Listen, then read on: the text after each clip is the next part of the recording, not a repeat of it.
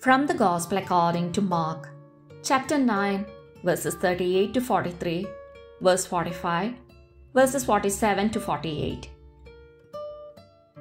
At that time, John said to Jesus, Teacher, we saw someone driving out demons in your name, and we tried to prevent him because he does not follow us. Jesus replied, Do not prevent him. There is no one who performs a mighty deed in my name who can at the same time speak ill of me. For whoever is not against us is for us. Anyone who gives you a cup of water to drink because you belong to Christ, Amen, I say to you, will surely not lose his reward. Whoever causes one of these little ones who believe in me to sin, it would be better for him if a great millstone were put around his neck and he were thrown into the sea.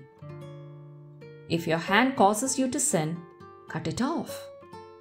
It is better for you to enter into life maimed than with two hands to go into Gehenna, into the unquenchable fire. And if your foot causes you to sin, cut it off. It is better for you to enter into life crippled than with two feet to be thrown into Gehenna. And if your eye causes you to sin, pluck it out. Better for you to enter into the kingdom of God with one eye than with two eyes to be thrown into Gehenna, where their worm does not die and the fire is not quenched. The Gospel of today's liturgy recounts a brief dialogue between Jesus and the Apostle John, who speaks on behalf of the entire group of disciples. They saw a man who was casting out demons in the name of the Lord, but they stopped him because he was not part of their group. At this point, Jesus invited them not to hinder those who do good because they contribute to the fulfillment of God's plan.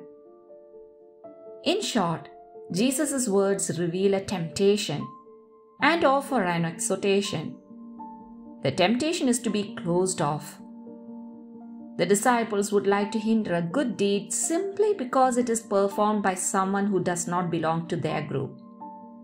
They think they have the exclusive right over Jesus and that they are the only ones authorized to work for the kingdom of God. But this way, they end up feeling that they are privileged and consider others as outsiders to the extent of becoming hostile towards them. Brothers and sisters, every closure tends in fact to keep us at a distance from those who do not think like we do. And this, we know, is the root of many great evils in history, of absolutism that has often generated dictatorships and of great violence towards those who are different.